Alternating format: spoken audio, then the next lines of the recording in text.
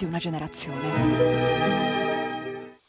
Il sogno di molti, quello di un vecchio faro su una meravigliosa isola, adesso lo Stato eh, li dà in concessione.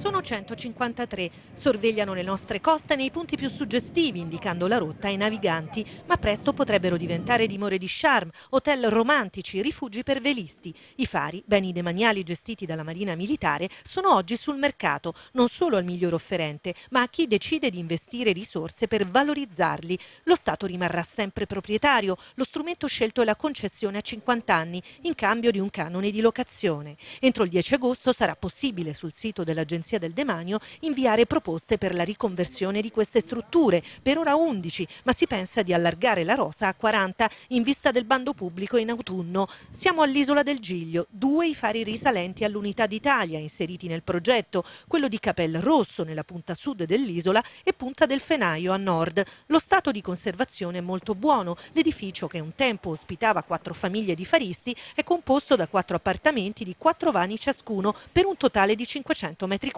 cosa potrebbe diventare? Un albergo con una quindicina di stanze verrebbe comodamente, quindi probabilmente questo è l'utilizzo nel caso specifico più eh, prestigioso. 1.500-2.000 euro a metro quadro, il costo stimato per la ristrutturazione del sito che ha già registrato diverse manifestazioni di interesse anche da parte di stranieri. Ci sono anche fondi stranieri che hanno mostrato il loro interesse sia per le strutture tipo, questo, tipo i fari ma anche diciamo, per le strutture eh, del demanio.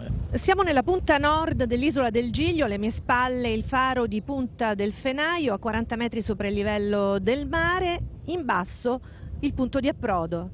Anche se trasformato in hotel, il faro continuerà a svolgere la sua funzione, comandato a distanza dalla Marina Militare. I fari non saranno mai dismessi, eh, quello che sarà dismesso sono gli alloggi delle famiglie dei faristi.